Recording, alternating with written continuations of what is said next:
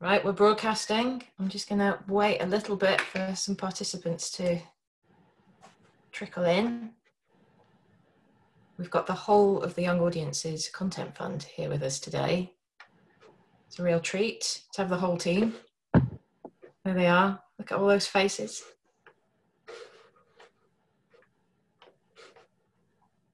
Just waiting for this um, participant figure to level off and then, then we can get going. Right. Oh no, still people coming in. Buying their popcorn outside, coming in late. Um, all right, let's kick off.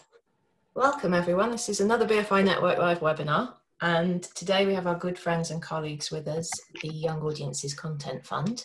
And uh, we're going to be talking to the team this morning about their production and development funds principally, and the brilliant work that they've been doing to reinvigorate content for young audiences across the UK. Uh, we're also going to be talking about what makes a good funding application and demystifying how that process works within the team. For the last 20 minutes or so, um, we can open up the conversation a bit and take any questions that people have. So you'll see, I'm sure you're all super familiar with Zoom webinars now, but you can uh, drop questions into the Q&A box um, and we can pick them up later on. There's also a chat function there. My colleague Cara, lurking in the background, is going to be in there if anybody wants to have a chat with her. Uh, she'll be dropping links in and things like that as they come up throughout the conversation. Um, anything else? Oh, yes, if you're in the chat, um, it defaults uh, the setting to all panelists, which means only the panelists, only the speakers can read what you're saying. If you want to sort of engage more widely with everyone, set the settings in there to all panelists and attendees, and then everyone can see. Um, all right. So I'm going to kick off the session now with a few introductions. I'm going to call out the team members in no particular order, just wherever they are on, on my Zoom frame. And just uh, get them to say hi, explain who they are and what they do within the fund. So, Harriet, you're closest to me. What do you do? Who are you? I'm Harriet. I am the development executive for the fund. So I review all the applications to the development fund specifically, um, and then I review all the projects as they go through their development work, if they're if they're successful. Real, John. Hi, I'm John Knowles. I'm a, a production executive for the fund, so um, equivalent of, of Harriet really, but in production. So I, I review all the uh, production applications and uh, and any that we award, I then kind of you know look after them through the production as well. So that's it. Brill. Uh, Aisha? Hi, I'm Aisha. I'm the administrator of the fund. So I look at the applications against the eligibility criteria um, and let those in. Um, and then I also help with the um, deliverables later on in the process. Brill. Hisham? Hi, I'm uh, Hisham. I'm uh, the lawyer for the fund and I look after legal and business affairs uh, in respect of all of the applications from reviewing the uh, applications that come in and checking all's in order. Once they're approved, uh, I deal with the contract contracting and the uh, documenting of the award. Thank you. Chandan? Hi, I'm Chandan. I'm the coordinator of the fund. Um, I help to organise meetings, stakeholder meetings. I do a lot of finance, setting up the payments, um, also help with deliverables later in the process um, that's about it. Thank you. Jill? Hello, I'm Jill. I'm the project manager for the fund. Um, so I look after making sure that it runs smoothly, hopefully. Um, but also I scrutinise and interrogate budgets and schedules and anything to do with finance relating to the awards that we intend to make and the awards we have made. Thanks. And Gwyn? Hi, um, I'm Gwyn. I'm the awards assistant and um, I basically support the rest of the team. And last but not least, Jackie. Hello, and thank you for having us in your homes. Um, it's lovely to be here. I'm Jackie, I'm the head of the fund and uh, responsible for the successful implementation and strategic, strategic direction, if I could say it, of the fund. Super. So while, while I've got you there, Jackie, I'm going to ask you a couple of questions just to kick things off. Um, so just thinking about the fund overall, could you tell us a bit about the background to the fund and why it was set up, its key aims, how it's been going? Yes, you're sitting comfortably.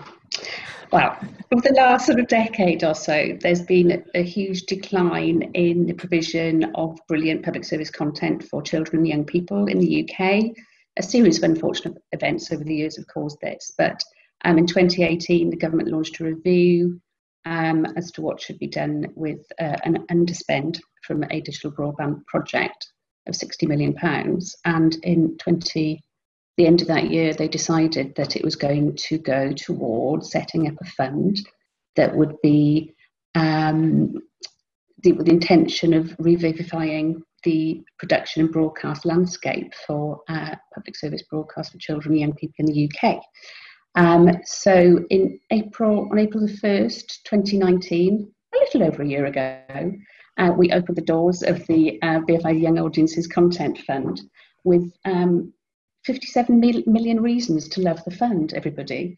Um, it is a fund of 57 million pounds to be spent over a three-year pilot period, and it is intended to support the development and production of brilliant new public service content for young audiences.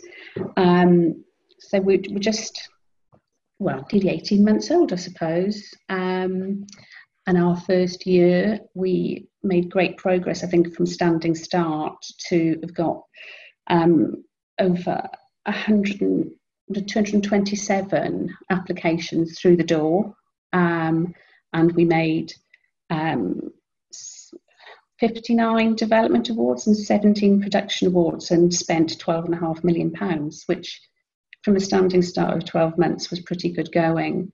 And so we're continuing. Um, and all credit to the team who just pulled together from day one and um, started funding immediately.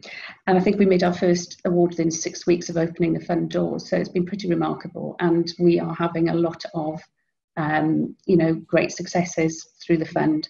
Broadcasters are already noting the improved quality of pitches that are coming to them because they've had the structure that proper development funding gives them. And you know, there are beautiful new shows going to be put in front of audiences and have already more so towards the end of this year. But the why it was set up and you know why is public service content important, I suppose that's the big um, the big question. Um, and it's the thing of, you know, public service broadcast. I think this year, this weird old year we're living through, has amply demonstrated the need for television that reflects our lives and speaks uniquely to us in this country. Um, it tells us about ourselves, it tells our uniquely British stories and forms a bit of a cultural glue, I suppose, for the country and we can all sort of gather around it. It shows us how show, shows us how we are, really, I suppose, and sort of how to how to be. And so it's a really important facet that there is provision of this content that's uniquely made for young people of this country and is free to access. Because you know we all love the SVOD services and the streamers, but they are subscription behind a subscription paywall. So content that's brilliant and free to access and speaks uniquely to this country's young people is so important. And that's what the key aim, I suppose, of the fund is to really make programme that resonates specifically with UK audiences. So it's a beautiful thing we're doing. So if you haven't already applied, I'd like to encourage you to. Yes, do. They've got lots of money as well. So yes, and it's free money. It's free money, Jess. I think it's worth saying those two words. Yeah, free money. Who doesn't like that? No, you guys have been doing brilliant work, and there was a Guardian article quite recently, wasn't there, that you're probably all too um, modest to mention that really called out all the brilliant work that you've been doing and the impact that the fund has had already just so quickly within. It, it's only really been 18 months, hasn't it? It's not. It's yeah. not been that long to get a whole new team together and promote the fund and take all those meetings with producers and content creators and get the money out the door as well. Yeah, it's been a real community endeavour, and I suppose that's the way we pitched it from the get go. Is you know we need everybody to kind of be involved in this. Anybody that cares about great public service content for young people, they need to be involved.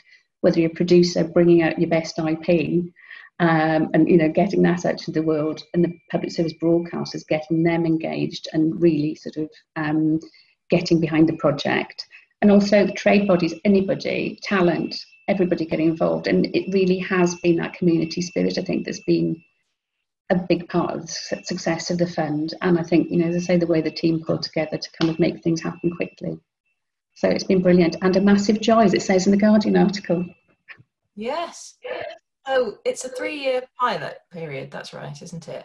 That's so right. By the, by the end of that, are there long-term changes that you would like like the fund to sort of have initiated across the sector? Yes. I mean, already, as I say, we are seeing the difference that proper resource and structure makes to development funding. Um, and I think that is a big plus in terms of upskilling the production community. You know, having that sort of ability to pro- have a properly structured development process makes all the difference in the world, I think, and we can expedite things getting to commissioners. The quality of programming that we're supporting is brilliant, and you know, broadcasters are really delighted with the way things are going. And you know, the advertiser-funded public service broadcasters, as we all know, the loss of advertising revenue is particularly difficult. So we are particularly helpful to be it's particularly helpful that we're here at this time for them. Um, but I think you know the real difference is going to be for audiences. I think I hope that the content that we are supporting is going to make a real difference to their lives and basically um, bring them those audiences back to free to access platforms because there's just been so little great content that's made specifically for them. When it gets there, I hope that they come to there and prove the point to broadcasters and government that you know there is a fantastic talent base in this country that can make brilliant, amazing programs, and we shouldn't um, let go of that fact, and we should support and nurture it because there's an economic importance to um, this work as well in the longer term. So I think I think it's going to, it's making a difference already. I think it's got the power to make a big impact over the three years. And 57 million sounds like a lot of money. It is a lot of money, but in the scheme of things, it's actually not that much. And I think we're proving the point that we're doing a lot with actually relatively little. No, absolutely. Not. Brilliant. So I'm going to move on now to um, talk to Harriet and John a bit about the funds that are available and what people can apply for, how they can get involved in your work and um, and the team. Um, so starting with development, Harriet, could you tell us a bit about the development fund, what sort of projects you can support, how it works, how people can engage, costs that you can cover, that kind of thing? Yeah, so the development fund, we can cover up to 100% of development costs of what we call reasonable activity. So um, that can cover sort of anything that would, I guess, benefit the project and help it get towards that commission. So for development funding, we don't require any interest or commitment from a broadcaster, but ideally you would have some idea of which of those qualifying public service broadcasters you, you know you'd be aiming for. Um, all applications we get through um, a form online. Um, some people, you know, it, it might seem like a lot at first, but actually it can be quite a beneficial process for your project. And we have had feedback that, you know, sometimes they've been copying out answers to questions and putting it back in their Bible because it does make them think about their projects in a way that they hadn't perhaps considered before. Um, and yeah, we, we use that to assess against all our criteria. Um, you know, with development you know, reasonable activity. Typically, for something scripted, it would include script, a Bible. It really depends on, I guess, the genre, and we do cover any genre for any age audience up to including 18 years of age. So, perhaps for an animated project, we might do um, some animation tests if it was sort of later on in the day or um, you know we've, we've been able to fund a lot of research that's been really beneficial especially for you know perhaps content that's not been done for young audiences before we can look at, say, impact assessments. Um, we've also had some exciting projects where they've invited, you know, really new young writers into the writers' room, and then that's really had, you know, a good impact on sort of, I guess, the authenticity of the project. Um, but we, we can really consider sort of anything, I'd say, within reason. That's exciting. Thanks. Um, and John, could you give us an overview of the production fund, how that works, and what, what people can apply for there, how they sort of how they can make themselves eligible for it? Sorry, I was trying to use a um, spacebar shortcut and it didn't work. Oh, anyway. Um, uh, yeah, so I mean, it's similarly to the to the development fund, really. Um, but but the, the, main difference is obviously with production is that we would need uh, a letter of commitment from uh, one of the qualifying broadcasters, um, which uh, is is obviously um, free to access, uh, Ofcom regulated, um, with a, a, wide enough um, audience uh, base, and and and then that that that last one um, is a slight caveat on that is if, if it is an indigenous language uh, uh, show, then then it doesn't necessarily have to have you know uh, that, that that wide audience scope as it, as it were from, from the qualifying broadcaster. Um, we can we can uh, put in uh, up to 50% uh, of the funds um, of the budget, um, and uh, and so obviously we need sight of of the, that other uh, at least minimum 50% uh, already in place from from various different places you know that it could come from you know license fee or pre-sales or distribution or whatever you know we, we need to have have sight that those those funds are already in, in place for us to be able to um, to to make an award uh, and and I, I guess we do emphasize the um, you know up to 50% um, and just because of what Jackie was saying, really, you know, it, it is a lot of money. Um, but when you break it down over, over the, the, the, year and break it down into development and production, and also, you know, all the different genres, all the different age groups, all the different techniques, you know, we, we are trying to do as much as we can and make this film go as far as it can. So, so there is, you know, we, we do we do hope that we can can put in um, um, you know, less than the 50% if, if, if possible, but, you know, it, it's not, not necessary. So, um, so, so they're the main differences really from, from development. Um, uh, but, but, you know, we're asking for kind of similar things. And with it being, you know, production, obviously we, we, we want to see, you know, uh, all, all, the things that you, you, may have um, uh, created out of development to, to kind of make it the strongest uh, possible um, uh, project it can be. Brilliant. I see that um, Cara's been dropping the uh, the fund guidelines into the chat there, so everybody should have a read of those uh, and just familiarise themselves with um, how everything works. Um, so thinking about you know if people are wanting to put an application into either development or production, um, what do you both look for? Maybe I'll start with Harriet first, go back to Harriet. What, what do you look for in an application? Are there any materials that are particularly useful for you to see that people might have created?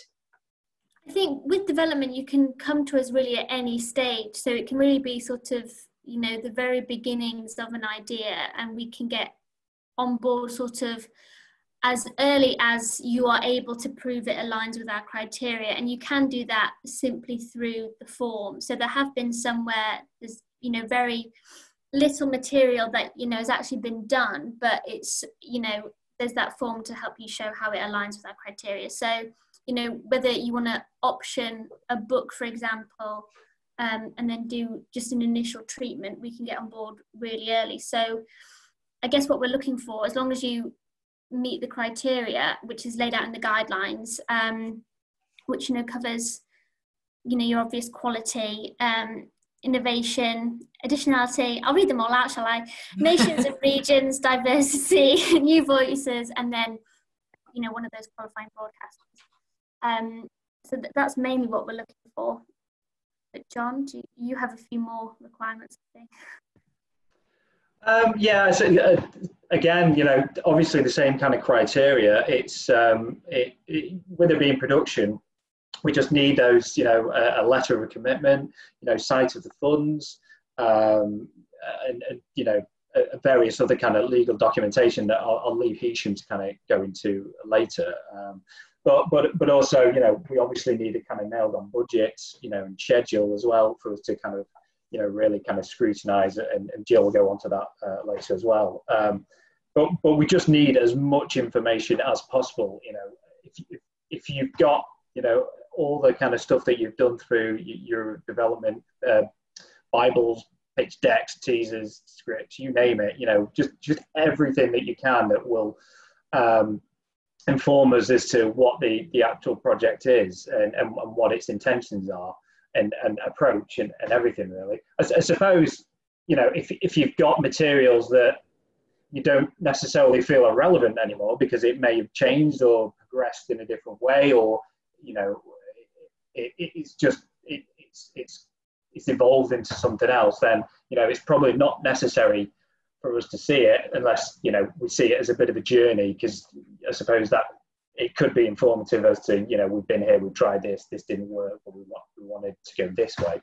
Um, but yeah, it's, it's it's it's more the same really. We we're just really looking for those for those kind of new voices, you know, new kind of authentic diverse vo- voices that, that the majority of the industry in general are looking for. You know, we, we want to support those those kind of projects that don't necessarily feel like they've they've had a voice before or they've had that chance before. Um, you know, and and and as as long as it's kind of along those that criteria and hitting those public service um, you know points that that's what we want to do you know it, has got to be informative for for, for the audience um, you know holding up a mirror to themselves or or, or informing, informing them more of the, the wider world those those key kind of public service um, um, staples really. You know they're the kind of things that we really want to see but that but maybe from a, a different viewpoint or you know that that innovation that that may not have been there before. Uh, you know original content that's that's what we're all really kind of striving for the, the best kind of stuff. Um, because in the end, oh, you know, because this is a non-recoupable fund, what, what we're looking to, to get out of it is is what the audience get out of it. That's that's that's the, the kind of full stop. We want to support the best content that we can uh, that the audience, you know, find the most compelling and, and, and useful. So, so you know, it's same thing that everyone's looking for, probably. Hopefully. Yeah, yeah, I think so.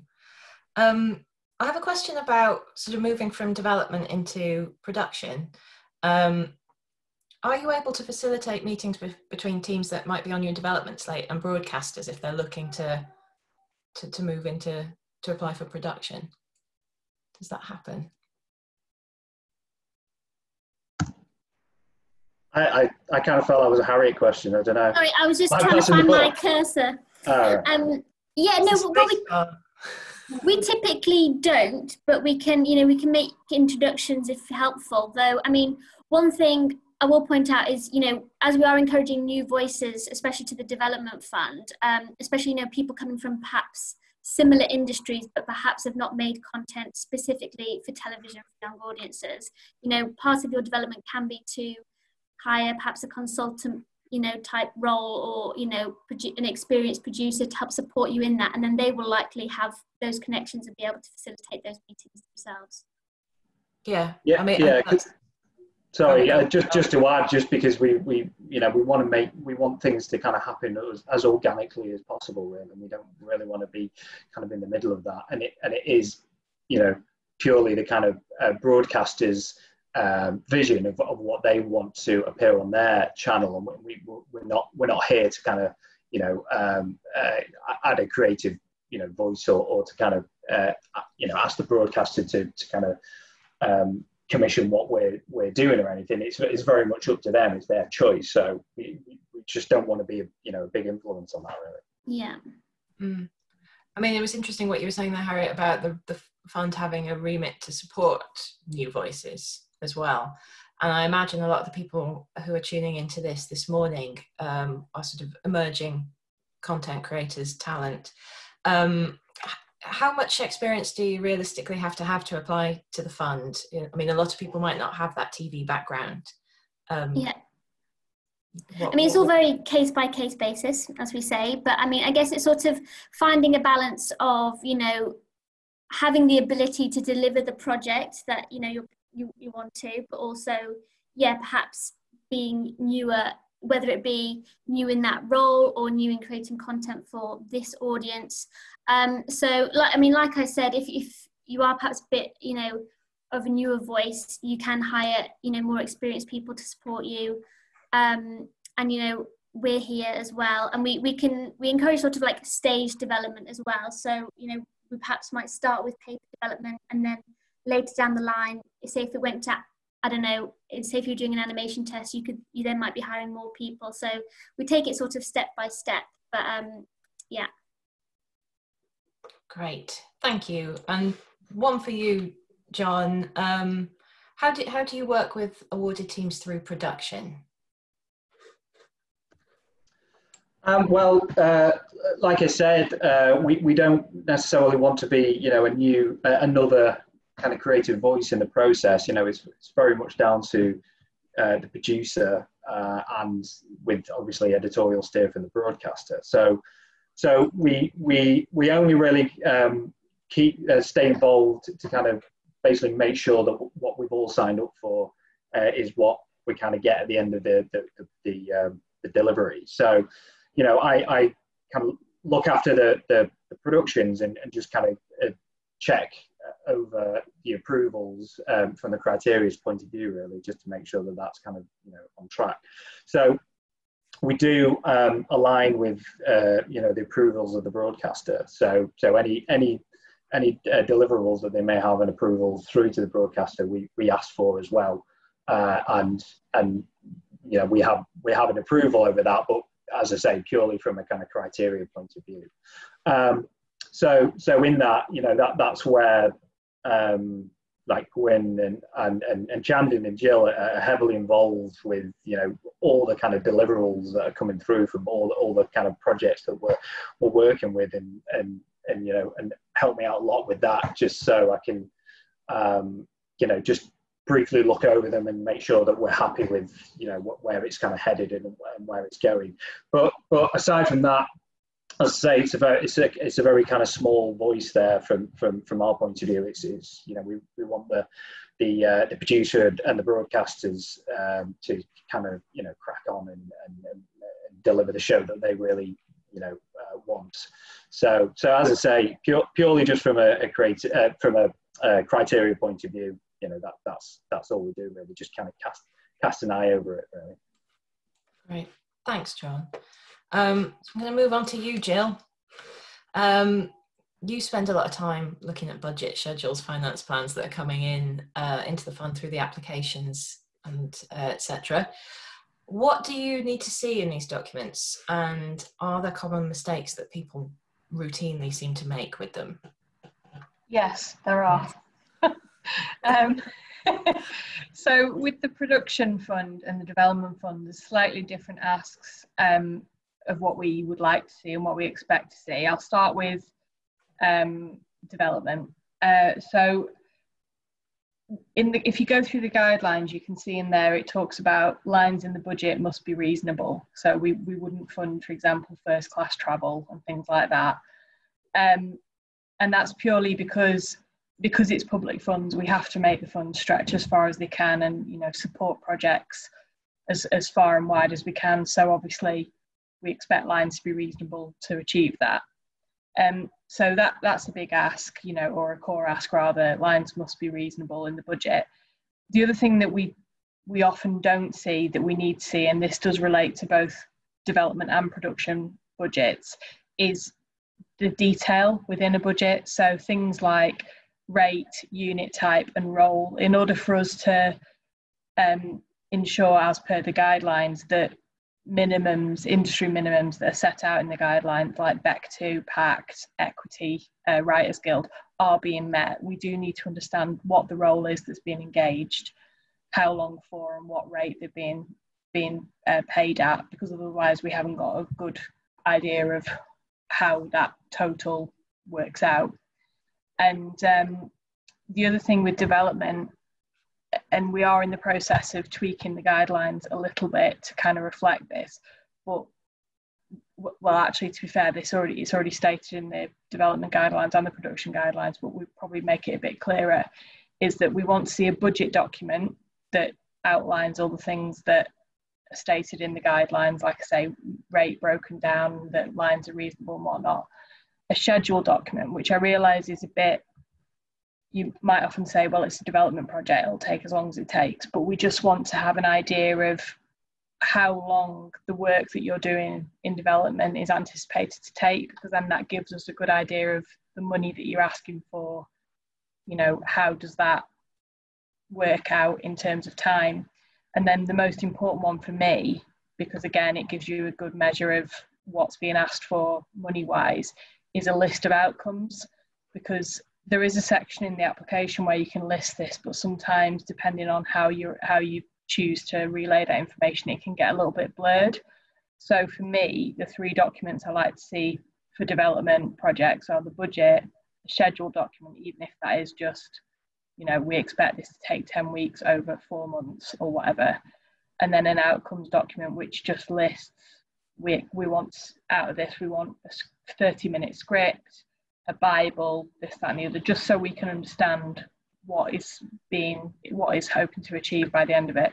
And then switching to production, a lot of the guidelines are very similar. We expect minimum rates as set out in the guidelines to be achieved.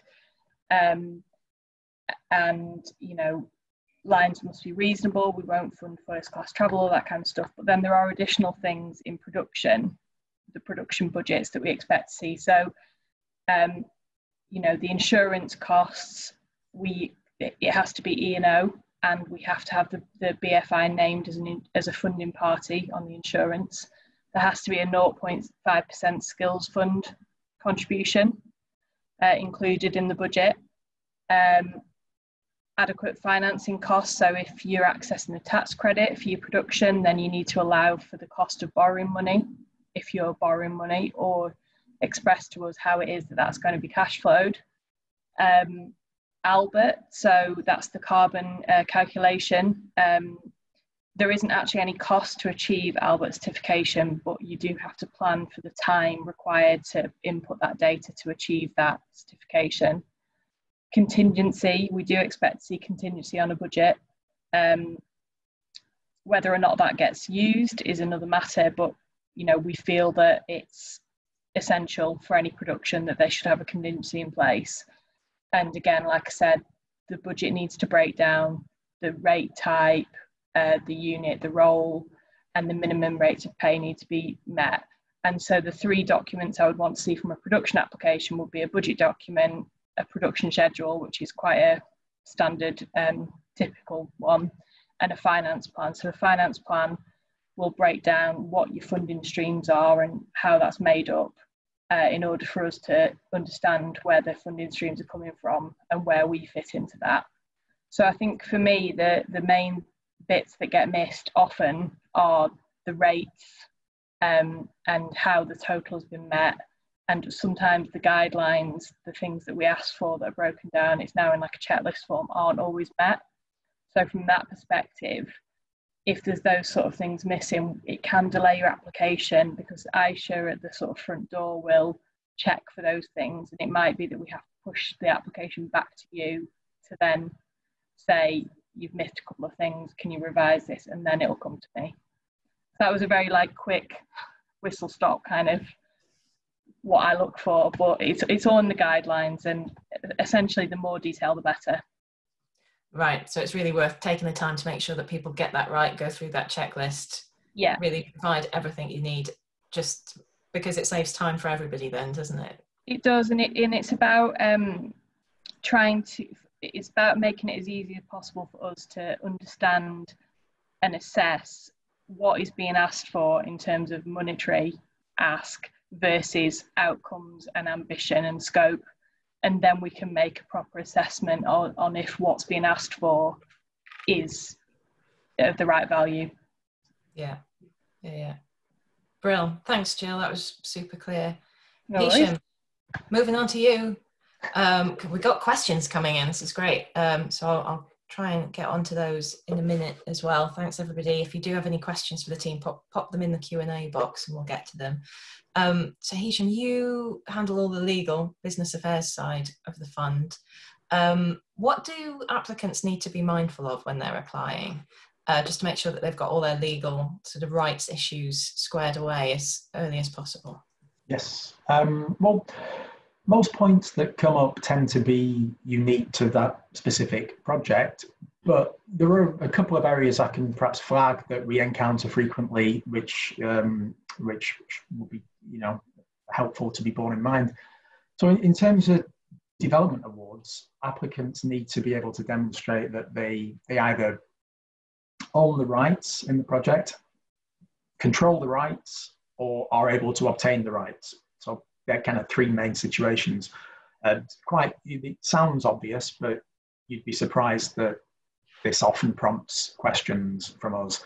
Um, to expand on each of those, A, most straightforward, the applicant owns the intellectual property themselves, so there's no other third party interests.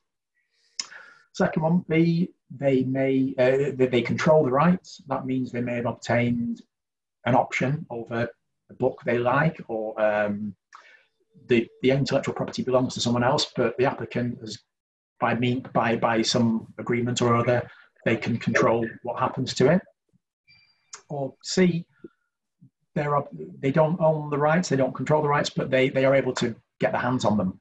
So so in that instance, they may have been again they may there may be a a, piece of writing or a, a, book that they like. They may have been in contact with the rights holder and have got an indication that the rights are available and um, obtainable.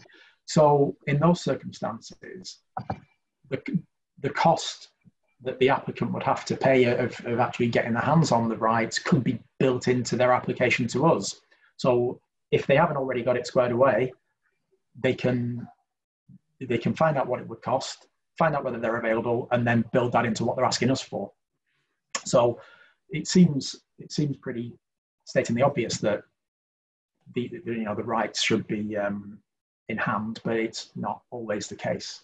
I think that's the main thing on development projects. Um, on production awards, by the time a project's ready to go into production, rights really should be taken care of. The applicant should have control of, of of the rights, uh, the intellectual property in the thing that they're going to make. But what we, we need to see evidence of that, and we call that chain of title. So we want uh, an applicant to provide us with documents, be it an option, uh, a format agreement, uh, a talent agreement if it's contingent on a particular yeah, person or, or, or, a cast member or, or whatever. So that shouldn't be a problem because that's what broad, any broadcaster would be looking for that. Any financier would be looking for that. So we just it wouldn't be putting the applicant to any greater work. It should all be there. Um, so the only other thing we'd look for is, as was touched on earlier, evidence of um, evidence in support of each line of the finance plan. So a commitment from a broadcaster with a figure on, an accurate tax credit estimate, evidence of any pre-sales or distribution deals that have been done, just something something backing each each line in the finance plan. Um, they're really the main sort of general points for, for both. But um, drop any questions in the, um, if you have anything specific, we'll, um, we'll help where we can. Yes, yeah. If anybody has any questions on any of this, please do pop it in the in the Q and A box, and we'll we'll get to them. Thank you very much. That was really useful. Um, Aisha and Chandan, moving on to you, you're um, you're sort of on the front line with applications coming in, aren't you? Do you see common mistakes cropping up in applications? Do, do, is there any, any advice that you would give to people looking to apply to make sure that, um, that, that from the off their application is in good shape? Yeah, so it's um a lot of it's just to re- reiterate what everyone else is saying. So um like um Harriet and John have said, um, just to make sure that those eligibility criteria are met. So we sometimes see people, um, applicants applying who um, aren't the um, producer and executive producer of a limited company. So those who apply need to be part of a registered limited company. Um, and again, with um, with production, it just needs to have that broadcaster commitment. It needs to be minimum of 50% um, funding already in place. Um, and then I usually look out for just to make sure all of those um, uh, appropriate um, attachments are with the uh, application. Otherwise, I'll go back to them and sort of like request them. So yeah, stuff like the letter of intent, letter of financial um, commitment as well, uh, particularly for production awards. Um, and then for both production and development, again, just as Jill was saying, need, needing to see the, the detailed budget document, um, schedule, um, and then outcomes for development. Um, so we see that quite a bit. Um, yeah, I think that's, that's just, there's a handy checklist on our guidelines. So you can look at that. They're, they're both on page six of both the guidelines, remember that. Um, so you can literally just go through that and just tick box it. Um, I would add that I answer the main phone line and I get lots of different queries, um, but a lot of them are quite specific to the project, which we obviously can't see yet. So I would encourage people to apply because we don't take pitch meetings and just fill in everything, um, you know, as completely as possible. Um, and your application kind of starts the conversation with us. We're a very friendly fund. We're really happy to work with you um, on your application as long as you meet enough of the criteria um, and all that information is in the guidelines. So do read the guidelines. I cannot stress that enough. All the answers are there. It's like it's helping you so much. It's giving you free money. Read the guidelines. Um, the other thing I would say is diversity standards. That's a really um, important part of your application. Um, we really want your, um, your diversity to be intrinsic to your project. It, this is not a tick box exercise. Um, it's part of the criteria. We're really looking for authentic representation.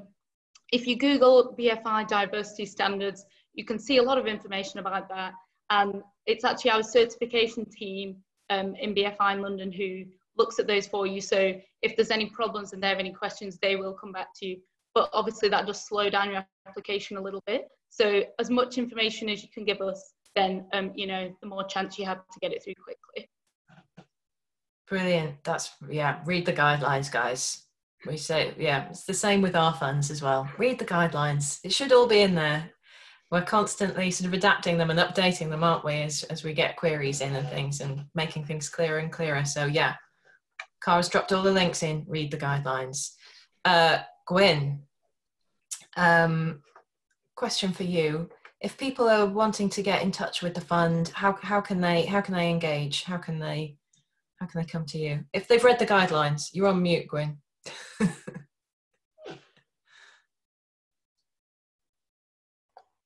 there you are.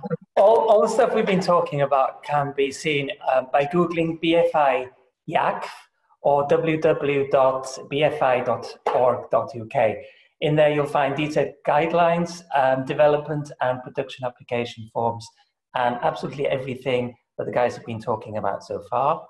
Um, furthermore, if you've got any more queries, you can email us on yacf at bfi.org.uk. And the telephone number is plus four four oh, two oh seven one seven three three two four six.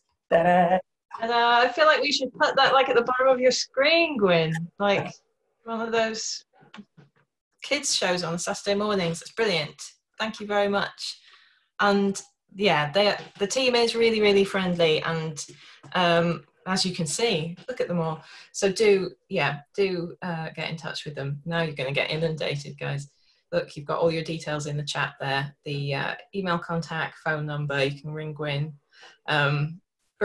All right. So we've got we've got quite a few questions that have come in now from uh, from the participants. So uh, I'm going to have a look in the Q and A box and. Um, so the first one I've got here is asking if you would be open to a short film idea being converted to a TV program. Would submitting the script be useful evidence, or might it sway you into thinking it should remain as a film? I Don't know who wants to take that. It's probably one for you, Harriet. Yeah, I mean, we're definitely open to it. I think it, would be, I think it would be helpful to see the script, see what it is exactly you're adapting, and perhaps how suitable it would be, um, whether it be more suited as like a, a one-off TV drama or perhaps a series or you know whatever it is you think um, suitable.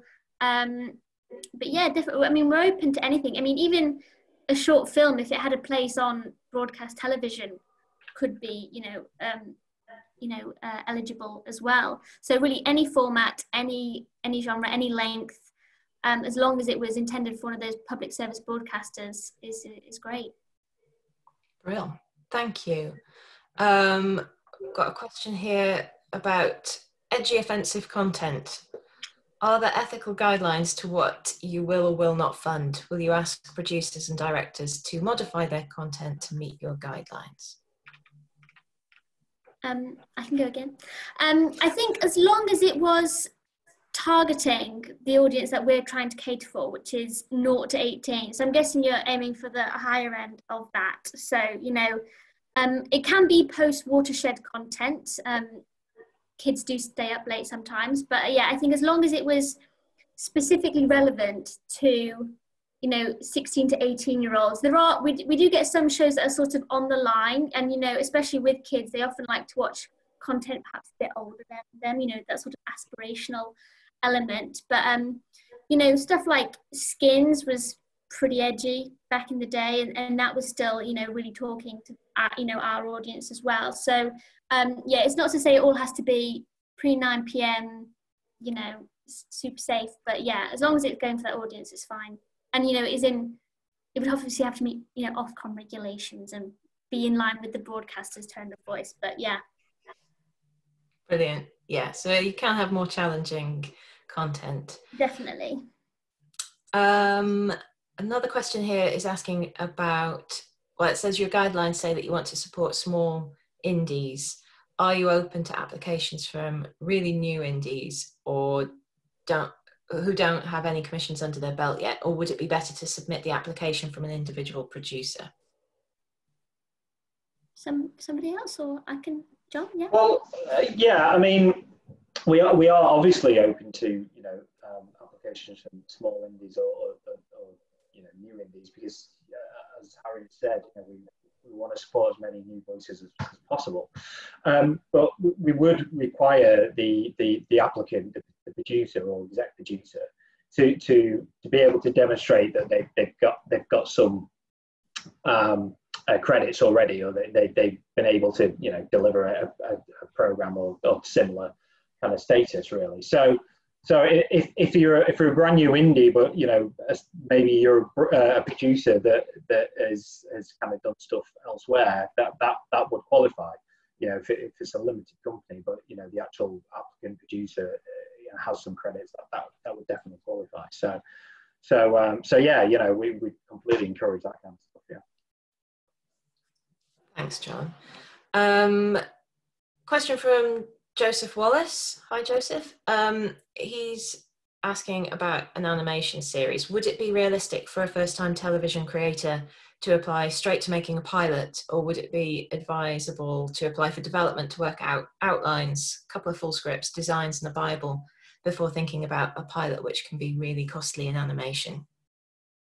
Um, totally case by case i'd say um though typically we would encourage a staged approach. And and you know i mean it's not to say we wouldn't just go ahead and, and fund you know say a pilot or an animation test straight away but it might be depending on the idea and um you know whether it would be worth doing some of that initial paper development sharing it with broadcasters and then getting their feedback. Because it you know it might be they have a project kind of similar already in development, or it might be that they just have some really useful and helpful feedback that you could then incorporate into that pilot, that animation test, um, you know, before you've gone and done it. Um, so, but you know, if you want to apply for what you think you need, if we think your project completely meets the criteria, but perhaps you can perhaps maybe do a bit more maybe a bit more on this bit, maybe a bit less of that bit in terms of your development activity, we would just get back to you and go, how about we start with this? Um, and then you can always apply for additional funding, which we process super quickly.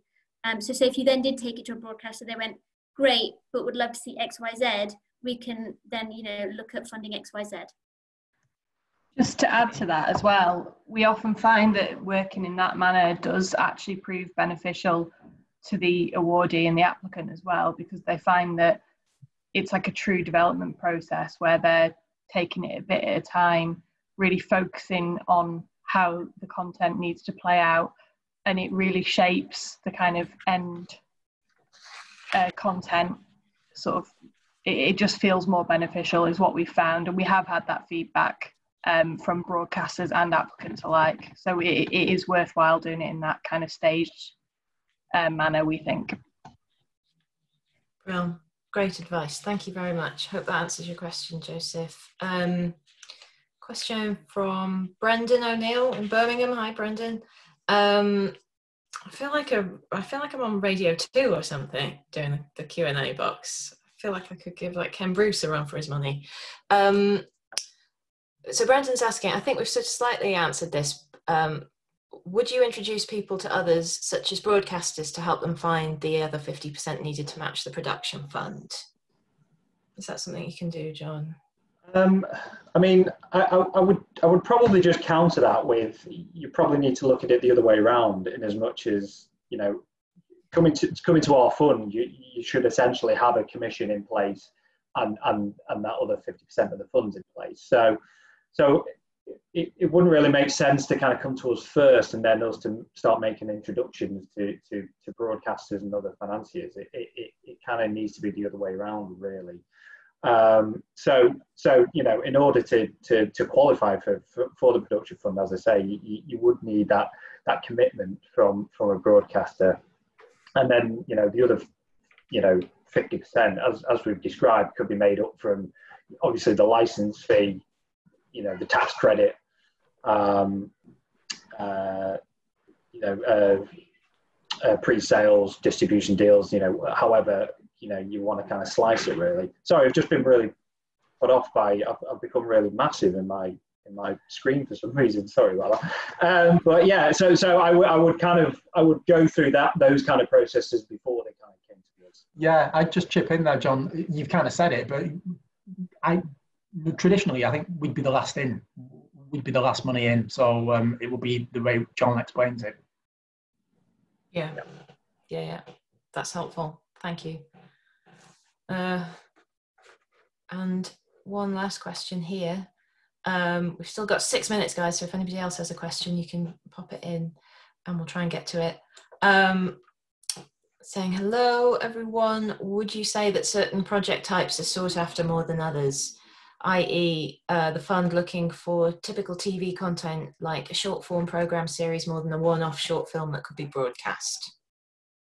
Um, we're very much led by the broadcaster. I mean, obviously, if you're going to the production fund, you've already got that commission. Um, so, you know, I guess with development, it, it's totally anything that the broadcaster wants. I guess typically, you know, series are or are more typical for television. And I guess if someone came with sort of perhaps a really bizarre format, say a four hour long interactive dance piece, I don't know. But, you know, then we might be, you know, sort of encouraging a conversation earlier in the day. Um, but, you know, whatever, we're totally led by the broadcaster, I'd say. Um, yeah, whatever, whatever they'd like.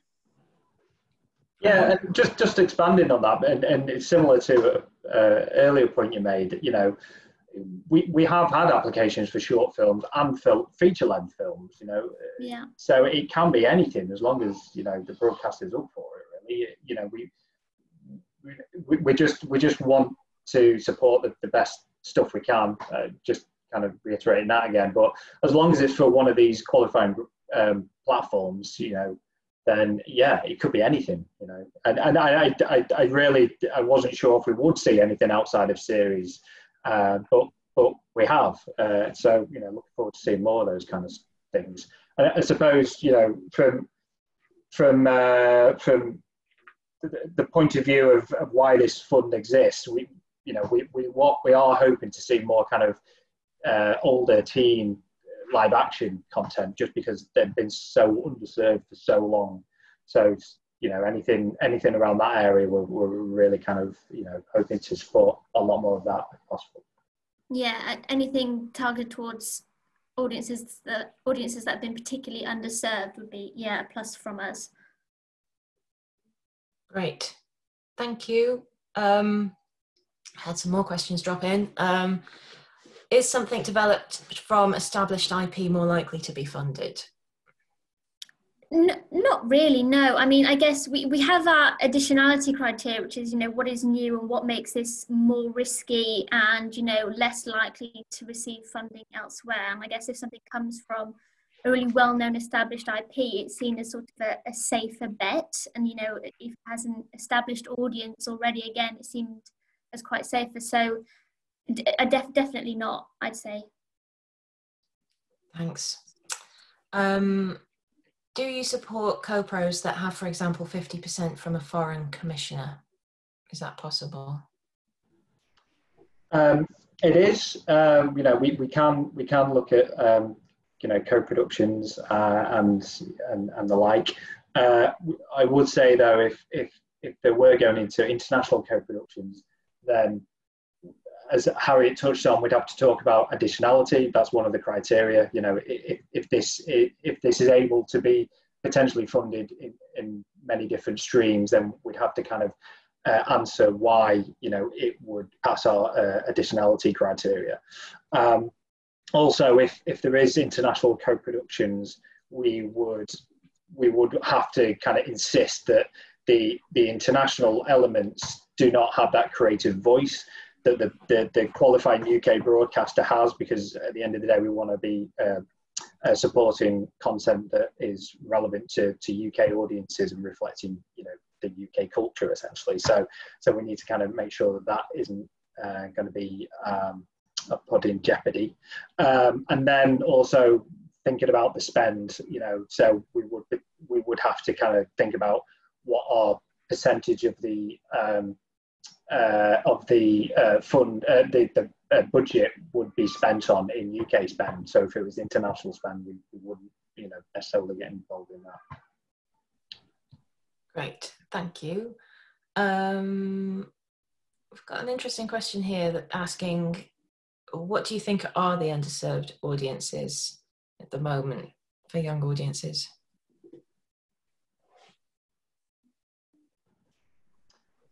Um, I, mean, I, mentioned earlier, you know, it's, it's you know, it's kind of widely um, um, expressed that you know, teen, you know, teen audiences just haven't had as much content, you know, um, from, from, the UK uh, as, as, potentially others. So, you know, preschool definitely. Um, you know, there's, there's, there's, plenty out there already, but maybe not so much from, from a UK uh, cultural uh, point of view. So that's why we, we're definitely going to do, you know, some, we have done some preschool and, and will continue to, but, it, but there, there is an argument that there's, there's, there's already, you know, plenty of that for, for, um, for audiences out there. So the kind of older you go, the, the less and less we feel that, you know, is, is really, there's there's enough of that content out there, and especially from a UK point of view.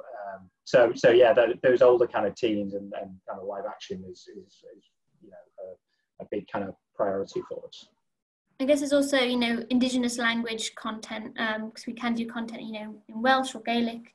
Um, so, you know, they, they've been particularly underserved. Um, also, it sort of it was it was half of British. I think it was around half of British audiences didn't see themselves reflected on screen. Um, so, you know, content that's more reflective of you know children who typically don't see themselves on screen would you know we'd consider them perhaps slightly underserved as well. That's really helpful. Thank you.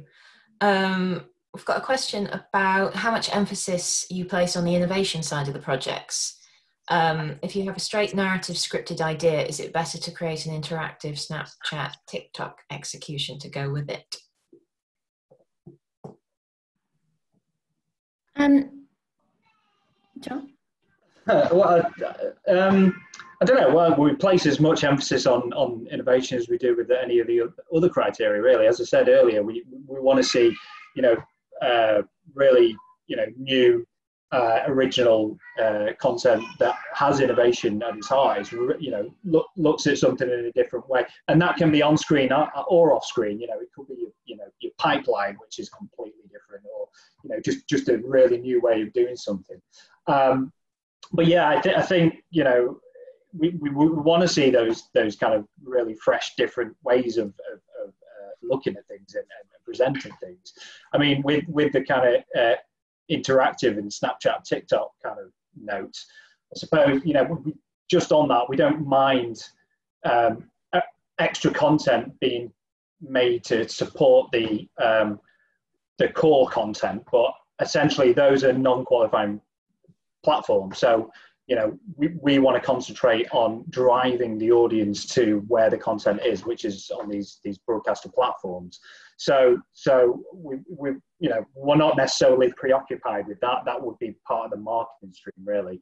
Um, but but it's yeah it's how it's presented on the screen. Uh, uh, sorry on the on the on the qualifying platform that we're really interested in. Brilliant, thank you. I'm going to go for one last question. Um, how long is the fund due to run for? Is there a cut-off point for the slate in terms of the subsidy?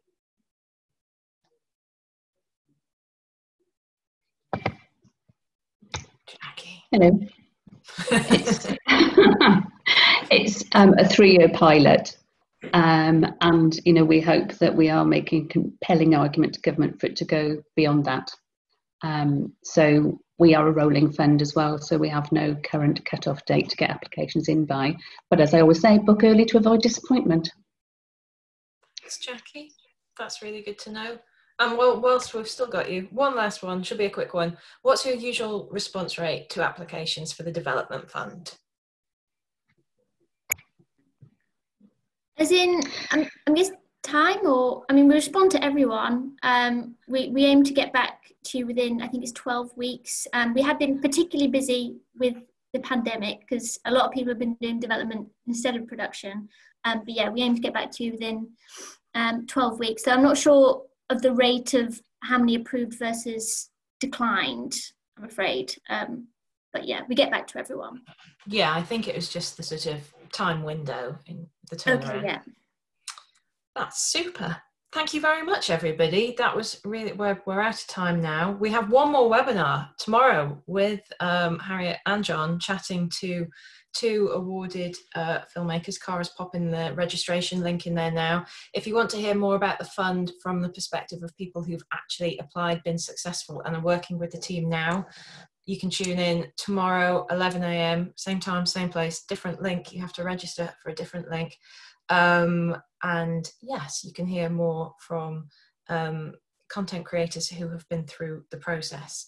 So I just want to say thank you ever so much to the Young Audiences Content Fund. All of you, you're all brilliant and you're doing amazing work. Thank you very much for giving up Thanks. an hour for us today. Thanks for having Thanks us. for having us, Jess. Thank Bye, you. Everyone. Thank you. Bye. Thanks, everyone. Bye. Bye. Bye now.